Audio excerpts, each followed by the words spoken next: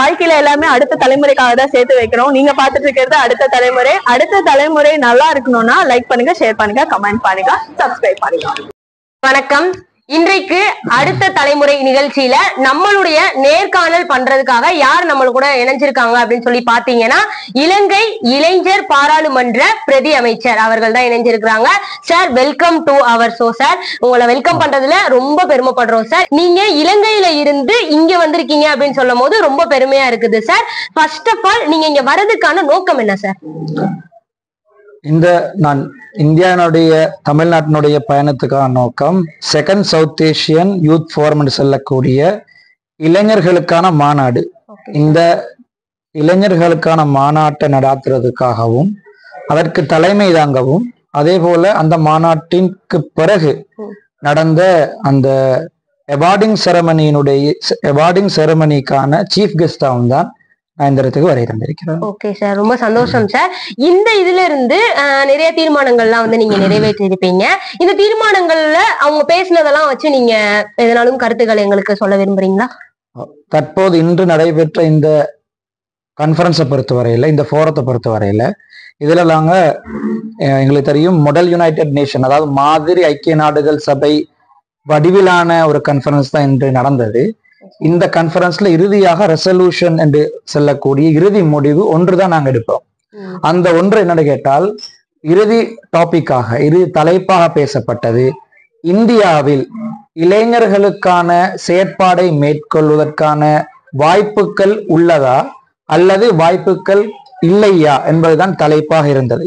அந்த அடிப்படையில் அதிகமான கருத்துக்கள் அதிகமான ஓட்கள் வழங்கப்பட்ட விதத்தின் அடிப்படையில் இறுதி தீர்மானமாக இந்தியாவில் இளைஞர்களுக்கான நேரடி வாய்ப்புகள் மிகவும் குறைவாக இருக்கின்றது என்பதுதான் இறுதி முடிவாக அமைந்தது இந்த இறுதி முடிவு வந்து அவங்க பேசியிருப்பாங்கல்ல சார். பேசியிருக்கும் போதே உங்களுக்கு வந்து தெரிஞ்சிருக்கும். சோ என்ன மாதிரியான கருத்துக்களை அவங்க கொடுத்தாங்க? நீங்க என்ன மாதிரியான கருத்துக்களை வாங்கிக்கிட்டீங்க. இதுல ஆதரவான விடயங்கள் தொடர்பாக பேசும் பொழுது ஒரு இளைஞன் பாடசாலை கல்வியை கற்கக்கூடிய நான் நினைக்கிறேன் இந்தியாவுல plus plus one grade ten அப்படியா? பிளஸ் ஒன்ல plus one grade ten plus one plus ஒன்ல கல்வி கற்ற ஒரு இளைஞர் அவர் வந்து அவருடைய கருத்தை முதன்மைப்படுத்தினார். உண்மையில் ஒரு முதன்மையான கருத்து. பிளஸ் ஒன் கற்கக்கூடிய என்னால் இந்த கான்ஃபரன்ஸுக்கு இந்த ஃபோரத்துக்கு பங்கு பெற்றக்கூடிய வாய்ப்பு கிடைத்தது என்று சொல்லி அவர் சொல்லியிருந்தார். இந்த இடத்துல வயது வயதை அடிப்படையாக வச்சு பார்க்கும் பொழுது மிக குறைந்த வயது அவராகத்தான் இருப்பார் என்று அவர் சொல்லியிருந்தார் உண்மையில் அவர்தான் மிக குறைந்த வயது. ஆகவே இவ்வாறான இளைஞர்களுக்கான வாய்ப்புகள் வழங்கப்படுது என்று சொல்லக்கூடிய கருத்துக்கள் அது ஒரு உதாரணம். இது இவை போல அதிகமான கருத்துக்கள் வழங்கப்பட்டது. அதுல இளைஞர்களுக்கான இந்தியாவில் வாய்ப்புகள் மிக குறைவு அதாவது நேரடியான வாய்ப்புகள் மிக குறைவு என்ற ரீதியில பல கருத்துக்கள் பல நபர்கள் பேசியிருந்தாங்க. அதுல குறிப்பாக கூறப்பட்ட விடயங்கள் தான் கரப்ஷன் சம்பந்தப்பட்ட விடயங்கள் பேசியிருந்தாங்க. அதே போல் இனம் ஜாதி பார்க்கக்கூடிய செயற்பாடுகள் இன்னும் நிலவுவதாக இளைஞர்கள் குறிப்பிட்டிருந்தார்கள். இந்த அந்த அடிப்படையில இந்த மாநாட்டினுடைய தலைவராக தமிழ்நாட்டில் அதுல இன்னும் மேலதிகமா நாங்க பார்த்தால் இன்றைய தலைப்பு இந்தியாவில இளைஞர்களுடைய செயற்பாட்டுக்கான பங்களிப்பு வாய்ப்புகள் மிகவும் குறைவு என்றதை தான் நான் உணர்ந்தேன். ஓகே சார் இப்போ வந்து இந்த கருத்தை வந்து நீங்க வந்து எடுத்துக்கிட்டீங்க. இந்த ஒரு கருத்தை நீங்க உள்வாங்கிக்கிட்டீங்கல்ல சார் இது அடுத்த கட்டத்துக்கு எந்த மாதிரி சார் கொண்டு போறீங்க? அவருடைய கருத்து மாத்திரமல்ல இந்த கான்ஃபரன்ஸ்ல பேசப்பட்ட அனைத்து விடயங்களையும் கருத்தில் கொண்டு மாநாட்டின் தலைவராக நான் ஆரம்பத்துல சொல்லியிருந்தேன் மாநாடு ஆரம்பிப்பதற்கு முன்பாகவே இந்த மாநாட்டினுடைய தலைப்புல வ- நாங்க எடுக்கக்கூடிய ஃபைனல் ரெசல்யூஷன் அந்த ரெசல்யூஷனை இந்த ஸ்டேட்டினுடைய தமிழ்நாட்டினுடைய இளைஞர் அமைச்சரிடத்துல நேரடியான முறையில் நாங்கள் அவர்களிடத்துல கலைத்து இந்த விடயத்தை அவருக்கு நாங்கள் சமர்ப்பிப்போம்னு சொல்லியிருந்தோம். அந்த அடிப்படையில் இந்த கான்ஃபரன்ஸினுடைய இறுதி ஃபைனல் ரெசல்யூஷனாக இறுதி தீர்மானமாக வந்த விடயம் என்னன்னு கேட்டால் இந்தியாவில் இளைஞர்களுக்கான வாய்ப்புகள் இளைஞர்களுக்கான ஆப்பர்ச்சுனிட்டிஸ் இருந்தாலும் அதாவது குறு- ஒரு ஓரளவில் இருந்தாலும் அதுல அதிகமான தடைகள் இருந்து கொண்டிருக்குது அந்த தடைகள்னால அனைவருக்கும் அதை அடைவதற்கு கஷ்டங்கள் இருந்து கொண்டிருக்குது. அந்த கஷ்டங்களை நிவர்த்தி செய்வதற்கான சில கருத்துக்களை நாங்க இந்த மாநிலத்தினுடைய இளைஞர் அமைச்சரிடத்துல உரிய முறையில பணிவான முறையில அவரிடத்துல நாங்க இந்த விடயத்தை எடுத்துரைப்போம். இந்தியாக்கும் இலங்கைக்கும் என்ன டிஃபரன்ஸ் இருக்குது? இந்தியாவுக்கும் இலங்கைக்கும் டிஃபரண்ட் சொல்ல போனால் இந்த பரப்பும் அதான் அடுத்தது மனிதர்களுடைய கூட்டுத்தொகையும் இலங்கையை பொறுத்தவரையில ஒரு சிறிய நாடு. இந்தியான்னு சொல்றது மிகப்பெரிய நாடு. இந்தியாவுக்கு விசிட் பண்ணியிருந்தால் அந்த ஒவ்வொரு நபருக்கும் தெரிஞ்சிக்கும். இந்தியாவுல பயணம் செய்யறதுக்கு எடுத்து எடுத்துக்கொள்ளப்படக்கூடிய தூரங்கள். அதே போல மக்களுடைய சனத்தொகை மக்கள் எப்படி இருக்கிறாங்க என்றால் குறிப்பிட்ட ஒரு பிரதேசத்துல செறிவாகவும் இன்னும் குறிப்பிட்ட மற்றைய இடங்கள்ல மலிவாகவும் இருக்கிறாங்க. அது உண்மையில ஒரு டிரான்ஸ்போர்ட்டேஷனுக்கு போக்குவரத்துக்கு ஒரு கஷ்டமான ஒரு நிலையத்தான் நிலையாகத்தான் இருந்து கொண்டிருக்குது என்றால் நான் இந்த இந்த தடவையோட சேர்த்து இந்தியாவுக்கு ஐந்து தடவை வந்துட்டேன். ஐந்து தடவையும் நான் முகம் கொடுத்த சிரமம் என்னன்னு கேட்டால் இடப்பரப்பும் அதோட மக்களுடைய சன சனத்தொகையும். இலங்கை பொருளாதாரத்துல வந்து வீழ்ச்சி இருந்தது சார். இப்ப இலங்கைக்குள்ள என்ன நடக்குது சார்? என்ன அப்டேட் நீங்க ஏதாச்சும் கொடுக்கலாம்ல எங்களுக்கு? இலங்கையினுடைய பொருளாதாரம் கடந்த ஆறு மாதங்களுக்கு முன்பு மிகவும் மோசமா இருந்தது. ஆறு மாதத்துக்கு முன்பல்ல அதற்கு முன்பும் மோசமாகத்தான் இருந்து கொண்டிருந்தது.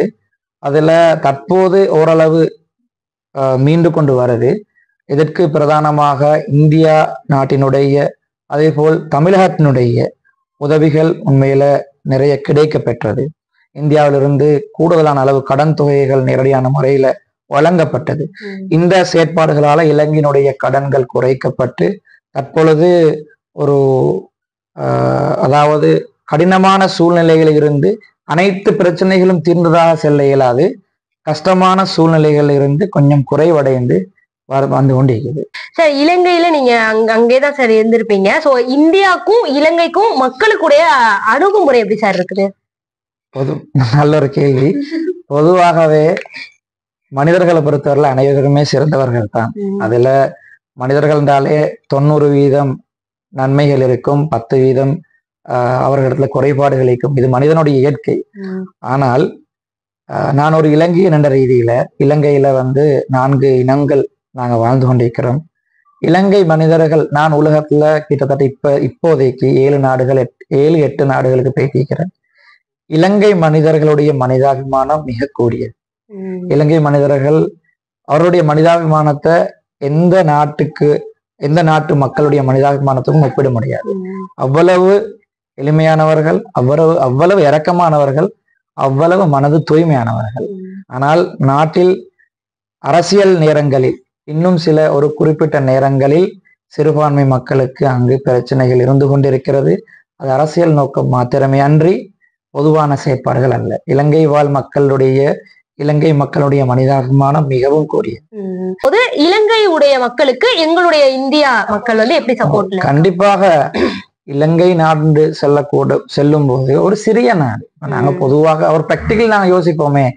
ஒரு வீட்டுல பெரிய பையன் ஒருத்தர் வைக்கிறான் சின்ன பையன் ஒருத்தர் வைக்கிறான் அப்ப ஒரு வீட்டுல வரக்கூடிய ஒரு பிரச்சனைக்கு சப்போர்ட்டிவா யார் வைக்கணும் சின்ன பையனுக்கு பெரிய பையன் தானே சப்போர்ட்டிவ் பண்ணணும். அதனால இலங்கை என்பது ஒரு சிறிய நாடு குறுகிய மக்கள் வாழக்கூடியது. வளங்கள் இருக்கின்றன ஆனால் அவைகளை ஒழுங்காக செஞ்சு கொண்டு போறதுக்கு மக்களுடைய தொகைகளும் மிகவும் குறைவா இருக்குது. அதே போல பொருளாதாரம் இந்தியாவுடைய பொருளாதாரம் மிகப்பெரியது. இந்தியாவுடைய மார்க்கெட் மிகப்பெரியது. அதனால் இலங்கையினுடைய செயற்பாடுகள் ஓரளவாகத்தான் இருக்கும். அதிகமான நேரங்கள்ல பலவீனமாக இருந்தாலும் இந்தியாவுடைய உதவி இலங்கைய திரும்பவும் வலுநிலைக்கு கூட்டிச் செல்லுது. ஓகே சார் இப்போ ஐந்து முறை நான் வந்து இங்க வந்து பயணப்பட்டு வந்திருக்கேன் அப்படின்னு சொல்றீங்க இந்தியாவுக்கு. சோ அந்த ஐந்து முறை வந்தப்பயும் உங்களுக்கு ஒரு எக்ஸ்பீரியன்ஸ் கிடைச்சிருக்கும்ல சார் சோ அதுல பெஸ்ட் ஏதாச்சும் ஒரு எக்ஸ்பீரியன்ஸ் இருந்துச்சுன்னா எங்க கிட்ட ஷேர் பண்ணிக்கலாம். Best experience best best experience என்னால் நான் அஹ், டில்லி நான் ரெண்டு இடங்களை மென்ஷன் பண்றேன். அஹ், டில்லிக்கு போன நேரங்கள்ல நான் உண்மையாகவே எதிர்பார்த்து பேசியிருந்தேன். அங்க இருக்கக்கூடிய மக்கள் அஹ், என்றால் அங்க அவங்க எனக்கு வந்து இங்கிலீஷ் மற்றும் இங்கிலீஷும் தமிழும் சிங்களமும் தான் இயலும். அப்ப எனக்கு ஹிந்தி இயலாது. அப்ப அங்க இருக்கக்கூடிய மக்களை நோக்கி நான் பேத்து அவர்களோட போகும்போது கொஞ்சம் பயம் இருந்தது. ஏன்னா நிறைய பிரச்சனைகள் சம்பந்தமா கேள்விப்பட்டிருக்கிறோம். ஹிந்தி தெரியாது இன்னைக்கு போனால் எப்படி அந்த நிலைமைகள் அங்க எப்படி வாழ்றது என்று சொல்லி ஒரு கேள்விக்குறிதான் ஏன்னா முதல் தடவை நாங்க போகும் சந்தர்ப்பத்தில் இதை நான் செல்றேன். ஆனால் அங்க போனதுக்கு பிற்பாடு அங்க இருக்கக்கூடிய மக்கள் உண்மையில பொதுவாகவே அதான் சொன்னேன். இலங்கை இந்தியா இருக்கக்கூடிய மனிதர்கள் அவர்களுடைய மனநிலை ஒன்றுதான். அதனால அங்க போன நேரங்கள்ல எங்களுக்கு ஹிந்தி தெரியாண்டு சொல்லி எங்களுக்கு எங்களை கிண்டல் பண்றதோ கேலி பண்றதோ அல்லது எங்களுக்கு தெரியாத விடயத்தை சொல்லித்தராமலோ இல்லை. அவர்கள் இயலுமான வரையில எங்களை வழி நடத்தினாங்க எங்களுக்கு நாங்க கேட்கக்கூடிய விடயங்களுக்கு சப்போர்ட்டிவ் பண்ணாங்க. எல்லா வி- விதமான செயற்பாடுகளும் செஞ்சாங்க. அதுல குறிப்பாக ஒரு நபர் எனக்கு அவருடைய பேர் மறந்துட்டு ஜாமா மஸ்ஜிதுக்கு பக்கத்துல இருக்கக்கூடிய அந்த ரோட்டுக்கு பக்கத்துல இருக்கக்கூடிய ஒரு ஸ்வீட்ஸ் ஒரு ஷாப் கொண்டு வச்சிருந்த ஒரு ஹிந்தி பேசக்கூடிய டில்லியில இருக்கக்கூடிய ஆள். அவர் எங்களுக்கு நிறைய சப்போர்ட் பண்ணார். எந்தவித எதிர்பார்ப்பும் பார்க்காம எங்களுக்கு நிறைய சப்போர்ட் சப்போர்ட்டிவ் பண்ணாரு. உண்மையில அது ஒரு மறக்க முடியாத ஒரு சம்பவம். இலங்கையில இருந்து இந்தியாவுக்கு அகதிகளா வந்திருக்கிறாங்க நிறைய பேரு. அவங்கள ரெக்கவர் பண்றதுக்கு நீங்க என்ன மாதிரியான வழிமுறைகள் எடுக்கிறீங்க சார்? கண்டிப்பா. இந்த மாநாட்டுக்கு வந்ததற்கு பிற்பாடுதான் இலங்கையில் இருக்கக்கூடிய ஏதாவது இலங்கை வாழ் மக்கள் அது இலங்கை வாழ் தமிழர்கள் அதிகமானவர்கள் தமிழ்நாட்டில் இருக்கிறார்கள் என்று தெரிய வந்ததே. இந்த வருகையின் ஊடாகத்தான். நான் இந்த தமிழ்நாட்டுக்கு இந்த மாநாட்டுக்கு வந்ததன் பிற்பாடுதான் இந்த தகவல்கள் எனக்கு தெரியும். உண்மையிலே இது ஒரு கவலைக்குரிய விடயம். ஒரு நாட்டினுடைய குடிமகன் அந்த நாட்டினுடைய குடிமகனாகத்தான் இருக்க வேண்டும். அந்த அடிப்படையில இந்த விடயம் தொடர்பாக இன்னும் நான் அதிகமான தகவல்களை திரட்டணும். திரட்டி உரிய நபர்களிடத்துல இந்த விடயத்தை கொண்டு போகணும். பார்ப்போம் எதிர்காலத்துல அதற்கான நேரங்கள் காலங்கள் ஒதுக்கப்படணும். ஒதுப்பதற்கு ஒதுக்குவதற்கான முயற்சிகளை செய்கிறேன் அதுக்கு உரிய அதிகாரிகளை சந்தித்து அதற்கான தீர்வுகளை நாங்க பெற்றுக்கொள்ள முடியுமா என்று சொல்லி பார்ப்போம். ஆஹ் இலங்கையில இலங்கைக்கு போய் தமிழக மீனவர்களோ இல்ல இந்தியால இருந்தோ போய் மீன் பிடிக்கிறதுக்காக போறாங்க. சோ நிறைய நியூஸஸ் வந்து பாத்தீங்கன்னா எங்களுக்கு எப்படி வருதுன்னா இலங்கையில வந்து மீன் பிடிக்க போனவங்களை வந்து கைது செஞ்சுட்டாங்க கைது. இதோட தடுப்பு நடவடிக்கையா நீங்க என்ன சார் எடுக்கிறீங்க? உண்மையிலே இந்த க- இந்த மீனவர்கள் தொடர்பான விடயங்கள் வந்து ரெண்டு விடயம் இருக்குது. ஒன்று ஒரு நாட்டுல அதாவது இந்த மாநாட்டுல பேசப்பட்ட ஒரு விடயம்தான். ஒரு நாட்டுல குறிப்பிட்ட வரையறைகள் இருக்குது நாட்டுக்குள்ள வாரதுக்கு போறதற்கு விசா முறைகள் இருக்கின்றது. அது. கடல் வழியாக இருக்கலாம் அல்லது விமான வழியாக இருக்கலாம்.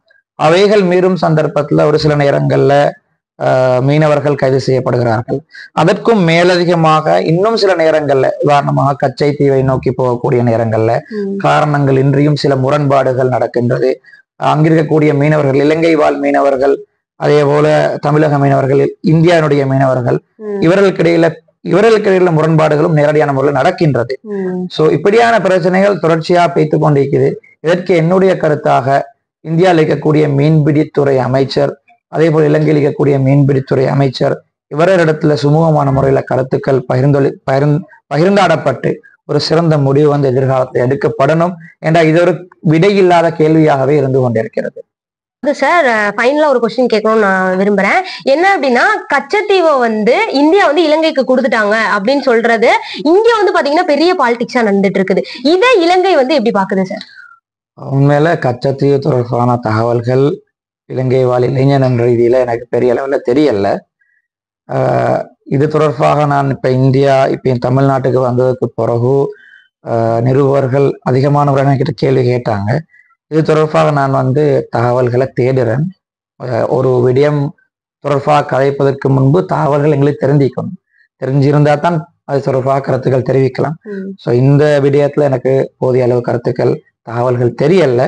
எதிர்காலத்தில் இந்த கேள்விக்கான பதில்களை நான் இயலுமான வரையில தர பார்க்கிறேன் கண்டிப்பா. இந்த மாநாட்டு நீங்க வந்திருக்கிறீங்க சார்.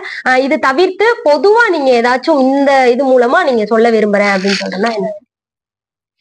பொதுவாக சொல்றதாக இருந்தால் இந்த இளைஞர் மாநாடுகள்ல பங்கு பெற்றதற்கு பங்கு பற்றியதற்கு பிறகு என்னுடைய இறுதி கருத்தாக செல்லக்கூடிய விடயம் ஒவ்வொரு அரசும் அதாவது குறிப்பிட்ட இந்தியாவோ அல்லது இலங்கையோ அல்ல தெற்காசியாவில் இருக்கக்கூடிய ஒவ்வொரு அரசும் வாய்மொழி மூலம் இளைஞர்களுக்கு வாய்ப்பு வழங்கி உள்ளதாக சொல்லிக் கொண்டிருக்கக்கூடிய அந்த விடயத்தை தவிர்த்துட்டு செயல் வடிவத்துல வாய்ப்பு வழங்கணும். செயல் வடிவத்துல வாய்ப்பு வழங்கினாலே அந்த நாடுகளுக்கான முன்னேற்றம் இருக்கின்றது. அதனால வாய்மொழி மூலம் வழங்கக்கூடிய அந்த வாய்ப்புகளை நிறுத்திவிட்டு செயல் வடிவத்துல உங்களுடைய களத்தில் அவர்களுக்கு வாய்ப்புகள் வழங்குமாறு அரசிடமும் அரசு அதிகாரி அதிகாரியிடத்திலும் நான் கேட்டுக்கொள்றேன். இவ்- இவ்ளோ பெரிய இதுலயும் வந்து உங்களை உங்களுடைய நேரத்தை எங்களுக்கு கொடுத்ததுக்கு ரொம்ப ரொம்ப நன்றி சார் அடுத்த தலைமுறை சார்பாகவும் உங்களுக்கு நன்றி சொல்லிக்கிறோம் சார் நன்றி. எல்லா வசதிகளும் உள்ளடக்கிய உள்ளதை செல்வோம் நல்லதை செய்வோம். பொன்னி மருத்துவமனை.